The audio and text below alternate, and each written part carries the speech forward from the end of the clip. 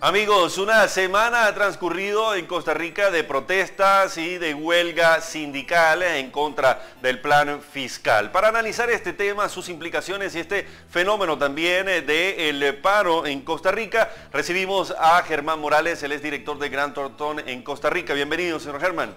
Gracias por compartir nuevamente con nosotros. Y eh, bueno, acá importante analizar esa situación. Han pasado ocho días, más de una semana, la huelga continúa, hay ya la posibilidad de un diálogo, pero no se sabe qué va a pasar ni con el plan fiscal, ni con la situación económica en Costa Rica en medio de este paro. Sí, el tema es que la huelga sigue siendo indefinida, si bien está puntualizado en algunos lugares del país donde se hace algún tipo de bloqueo, sigue siendo indefinida. Y por otro lado, el gobierno sigue adelante con el plan fiscal en el Congreso, en consecuencia las dos cosas que se están contraponiendo aquí siguen para adelante, entonces parecería que hay dificultad para ponerse de acuerdo. Ayer salió un poco de luz cuando se quiere hacer unas reuniones preliminares indicadas por ambas partes como, como preliminares. ¿Por qué? ¿Por qué preliminares?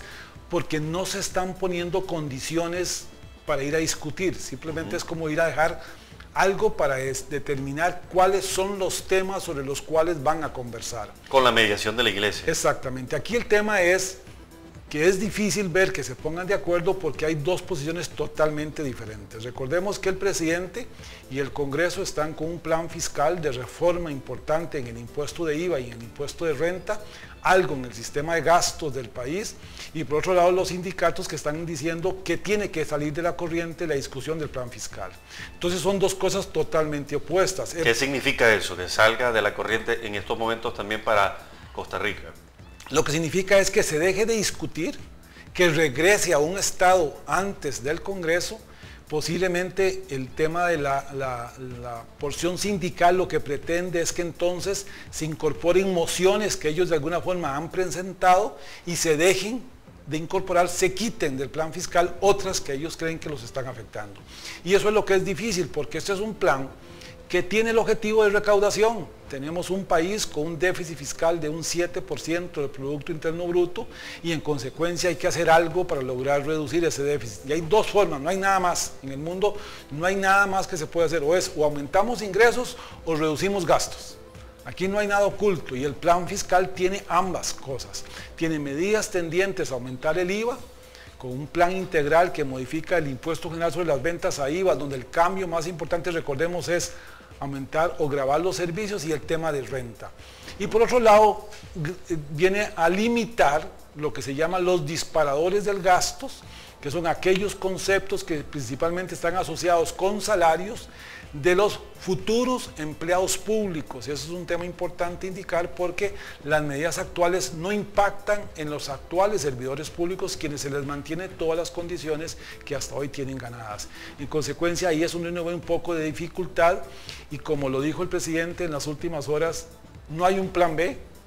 Así que aquí el planteamiento de, no hay un plan B, pero también el presidente eh, había dicho que se había mostrado que no iba a negociar con los eh, sindicalistas hasta que no, eh, no quitaran los tranques, no quitaran la, paralización de las actividades. Y ahora parece que hay como una puerta que se puede abrir, una intención.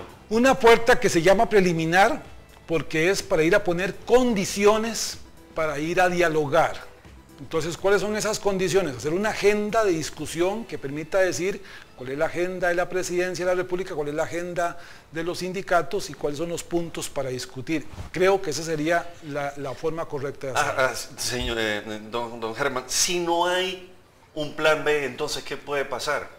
Digamos que aquí en el, hay un escenario A y un escenario B. El escenario A es que siga el plan fiscal en la Asamblea Legislativa, que se apruebe donde nos han indicado por parte de presidencia y los partidos que tienen la porción más grande de diputados que sí le van a dar los votos suficientes y que va a ser aprobado y con eso se logra reducir el déficit fiscal en 1.9 del Producto Interno Bruto. Y el otro plan es que regrese a comisión, que se incorporen mociones diferentes tendientes a posiblemente no regular el gasto, es decir, limitar un poco los temas de gasto que tiene e incorporar algunos conceptos de ingresos que la parte sindical ha pedido. Fíjense, haya o no haya huelga, termine la huelga, eso eh, por los escenarios que yo estoy viendo va, va a llegar el fin de año y no va a haber solución. Es posible, que esto atrase aún más, que estemos hablando en enero, febrero, marzo y posiblemente el primer año del gobierno mayo, estemos hablando de reforma fiscal si es que esto no se soluciona. Entonces no, es tan, no es tan urgente para el gobierno ni para el país. Es urgente para el país. Pero si no hay ninguna decisión. El tema es que me parece que aquí lo que ha faltado es de información. ¿Por qué hablo de información? porque lo que hay es inconsistencia en la forma en que se dice el impacto que la reforma va a tener en los funcionarios públicos.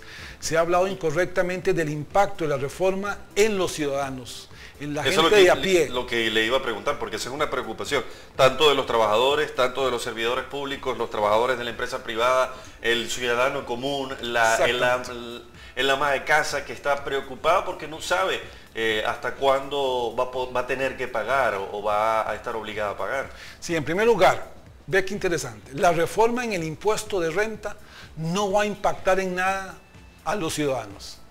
¿Por qué? Porque la reforma en el impuesto de renta pretende grabar las rentas de capital que es de gente que tiene mayor capacidad de compra van a grabar las ganancias de capital de gente que venda, que venda terrenos, edificios, propiedades, va a grabar con una tasa mayor la gente que tiene inversiones certificados en los bancos, en el sistema bancario nacional, va a grabar mayoritariamente la gente que tenga de alguna forma participaciones en sociedades vía dividendos y vía otro tipo de rentas. Y a grandes empresas o a, o a personas que ganan demasiado dinero. Exactamente, en el caso de renta se modifica el impuesto al salario, donde se agregan las tasas de 20 y de 25 para la gente que gane más de 3 millones y medio de colones, de tal forma que la gente que gane menos de esa cifra no le va a impactar. Entonces vea qué interesante, vea cómo ha faltado información. ¿A quién impacta la reforma de renta? A la gente que tiene mayor capacidad de compra. Y en el caso de IVA sí es un impuesto más general porque sí pretende que se grave todos los bienes y los servicios, pero aquí el cambio está en los servicios porque ya todos pagamos IVA por los bienes, todos pagamos IVA cuando compramos un par de zapatos, todos compramos IVA cuando compramos una camisa, eso sigue exactamente igual porque no se modifica la tasa. ¿Dónde está el cambio de IVA? Que se graban los servicios. El servicio que hoy no está grabado de un abogado, de un contador, de un ingeniero, cuando usted lo necesite para hacer un, trabajo, ese es el IVA que se va a pagar. Y en consecuencia ahí es donde va a haber un encarecimiento para los consumidores cuando consuman esos servicios. Sí, pero la luz, la, electricidad, el agua también va a venir. Esas vienen con, con, IVA que ya lo tienen, el agua ya lo tiene y el IVA y el teléfono ya lo tienen, solo que se modifican las tarifas para que sean con cifras eh, desde consumos más bajos, se va a ir grabando Entonces, ¿cuál es la razón para no querer eh, eh, el plan fiscal? Esa es la gran discusión. Exactamente ese es el tema. ¿Por qué es que hay oposición? Creo que es falta de información. Creo que no se le ha dicho correctamente al pueblo el impacto de la reforma y creo que por otro lado los gremios han sido muy hábiles en informar no sé si correcta o incorrectamente, lo que ellos creen que es el impacto de la reforma. Y si le ha dicho al funcionario público que a él se le va a disminuir su salario, que se, él, se le va a disminuir sus extremos laborales, lo cual es incorrecto porque hoy la reforma mantiene todos los derechos adquiridos de los funcionarios públicos. Entonces aquí estamos ante una gran discusión. ¿Por qué es que no hay un apoyo a ese plan fiscal? Porque no se ha informado correctamente.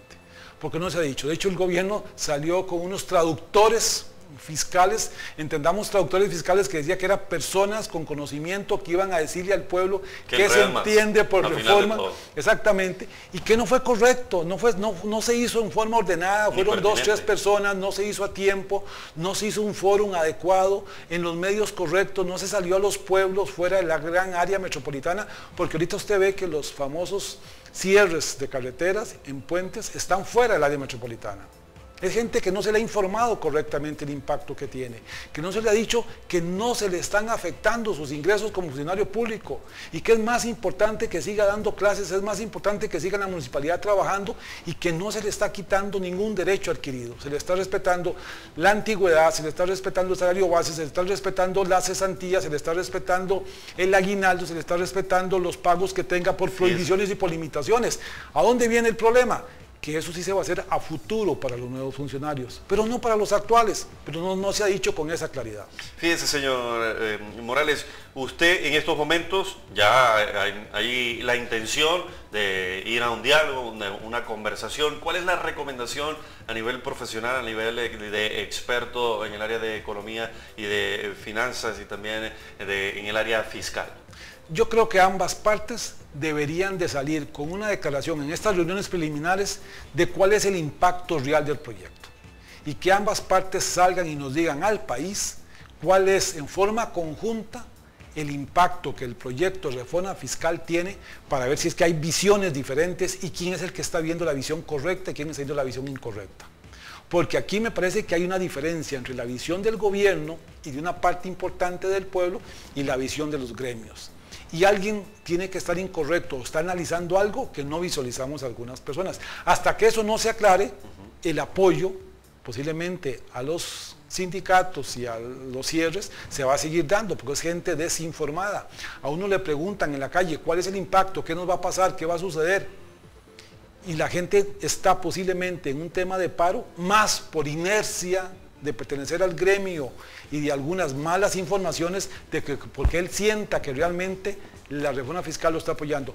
Porque hay algo que es claro. Si la reforma no pasa, el impacto va a ser mayor. Es que eso es lo que es fundamental entender. Ese funcionario público que está haciendo paro tiene que entender que si esta reforma no pasa, tarde o temprano el impacto de tener un déficit del 7% del Producto Interno Bruto va a ser mayor y ahí posiblemente va a ser un IVA modificado con tasa de 19 o 16% como sucede en Centroamérica. En México de 20, de 19%.